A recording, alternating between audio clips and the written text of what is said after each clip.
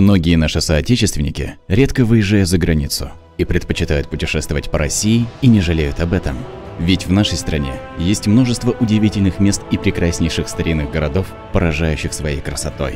Кто любовался великолепием дворцов Санкт-Петербурга, древними церквями Коломны или Сергиева Посада, посещал Кремли Москвы или Великого Новгорода, монастыри или церквушки, видел чистоту и прозрачность вод Байкала или Голубого озера, кто поднимался на вершины Эльбруса, никогда не забудут восхищение, вызванное красотой тех дивных мест.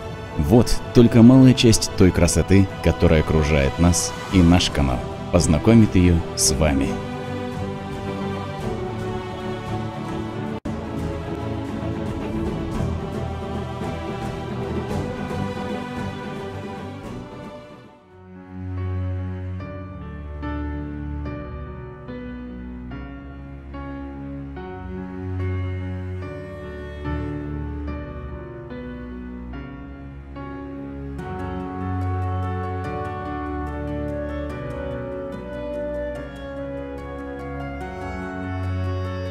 Коломна – городок на трех реках и двух дорогах. За него боролись три княжества. Его разоряли и сжигали татары. Занимали поляки. Пытались взять войско Ивана Болотникова. Коломна горела, болела чумой. Принимала Екатерину II. Переживала выпрямление улиц по генеральному плану архитектора Казакова. Сражения Великой Отечественной, погубившие так много исторических городов, остановились от Коломны в 20-30 километрах. За столетия своего бурного существования маленькая Коломна ухитрилась сохранить немало архитектурных памятников, одним из которых является Коломенский Кремль.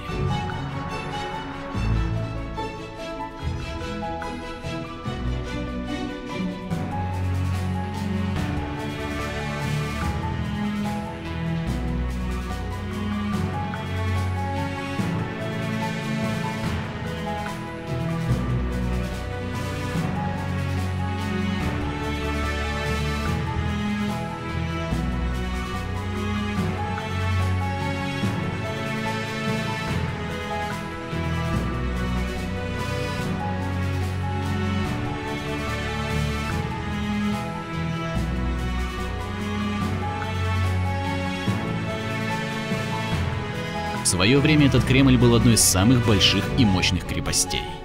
Стены Коломенского Кремля и сегодня поражают красотой инженерной мысли и мастерством исполнения.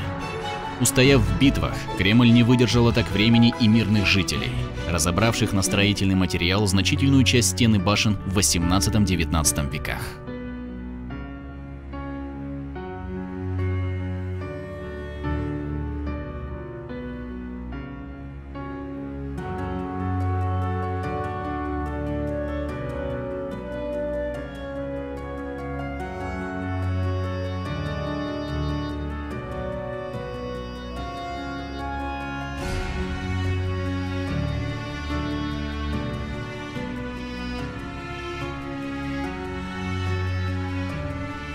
Помимо Кремля в Коломне представлены практически все стили русской архитектуры. Так центр города изобилует слободами, деревянными домиками с резными наличниками, купеческими особняками, усадьбами с мезонами и флигелями, палатами 18 века, бесчисленными церквями. За обилие памятников Коломну называют подмосковным Суздалем. В настоящее время на территории Коломенского Кремля размещается военно-исторический спортивно-культурный комплекс, созданный в целях возрождения и развития русской воинской культуры.